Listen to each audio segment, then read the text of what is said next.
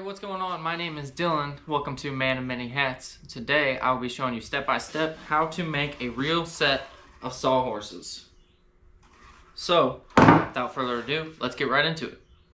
So let's go over the supplies for this real quick. You'll need three and a half two by fours for one sawhorse.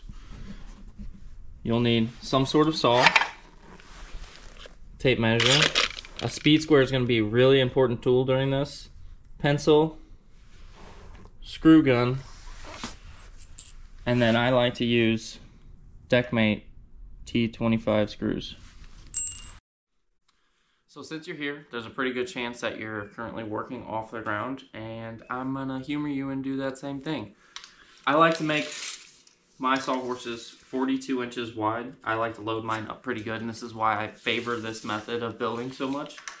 So we're gonna mark 42 on both ends of that. Take our square real quick. All right, so now we got those, and we're gonna measure out one more piece, but we're gonna make that three inches smaller on each side. So we're gonna do 42 minus six, we're gonna make this piece 36 inches. And I'll explain why we do that here in a little while. So now you got those pieces cut. Come in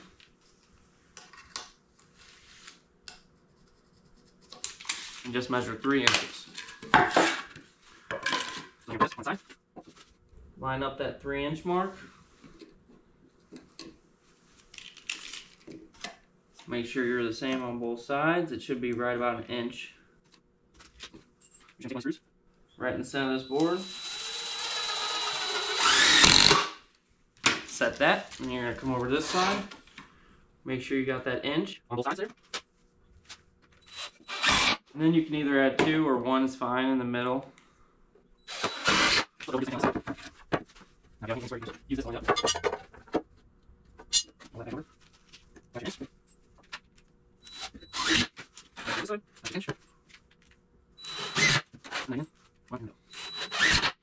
So, the reason why I like to make middle one shorter is because you can set your tape measure and your pencil and things in this little cubby here. See, some people say you can't do much with three inches, but if you ask my wife, starting off on the legs, the first thing we're gonna wanna do is we're gonna wanna take our saw and make it a 15 degree bevel. So how we're gonna do that is you're gonna loosen this up right here.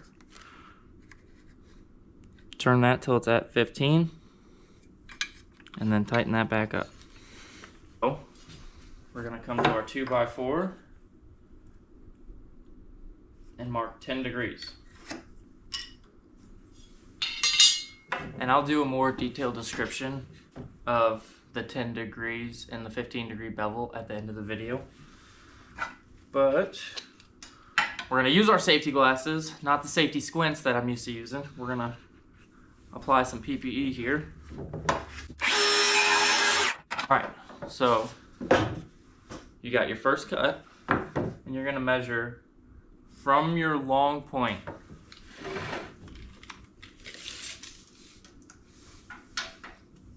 Thirty-seven inches. And that will put it about 36 inches off the ground to the top. So we're going from our long to our short point. So we're gonna put this square right on that mark we just made. Move it to 10.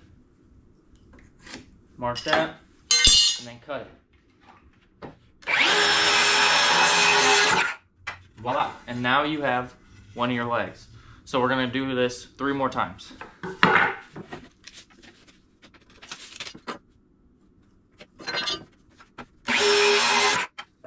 All right, so now all our legs are cut. We got the top assembly done. We're going to measure eight inches on the very top rail on both sides. And that's gonna be where our leg starts. So, slide that in there like that. What I like to do is make a few marks because you're going to want these screws to go directly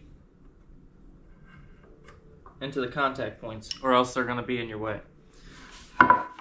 So then you get your screw gun with your T25 bit, your Deckmates. Right now we're only going to put two in because we still got to make some adjustments.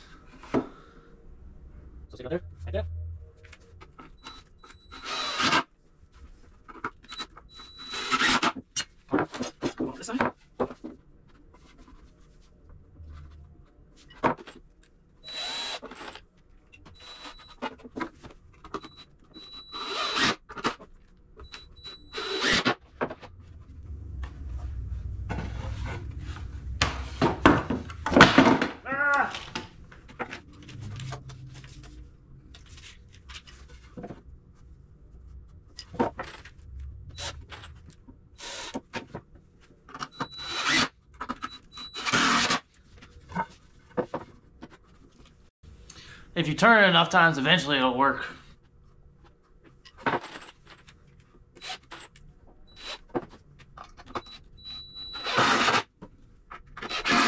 Alright, so now we got this thing mostly assembled. We can stand it up.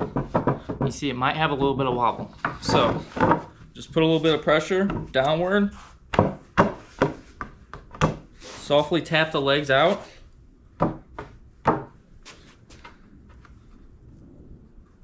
And then it's gonna be where it needs to be.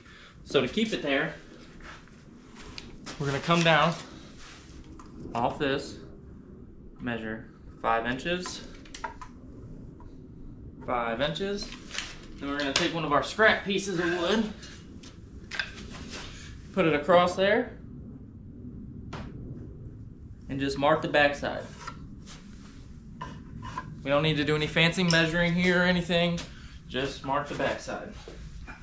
And before you cut that, make sure you zero your saw back out.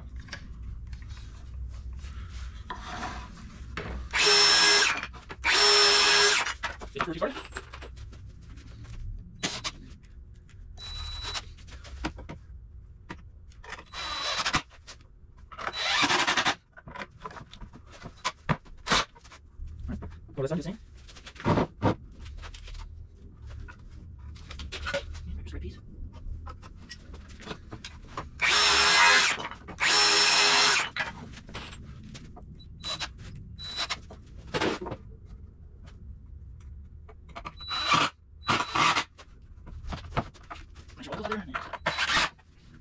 So now you have a set of sawhorses that is sturdier than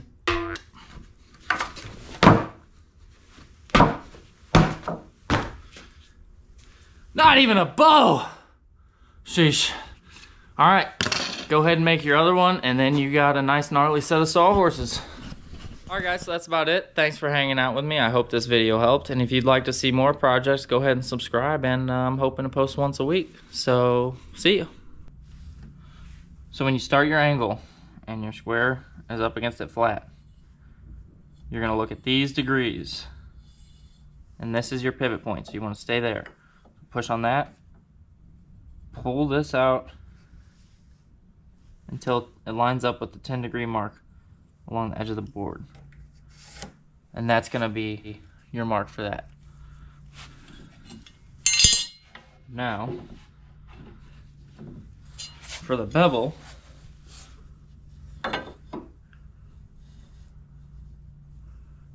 your pivot point would be right here, and the bevel cut is 15 degrees.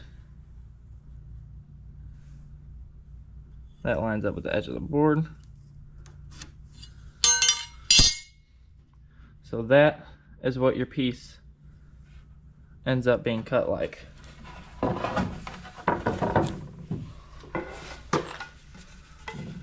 As you'll see here, here's one that's already cut. And when I'm talking about the short point and the long point, see how this is the short and this would be the long? And then again, when you flip it over to this side, you see this is the short and this is the long. So this is gonna be the longest point of your leg.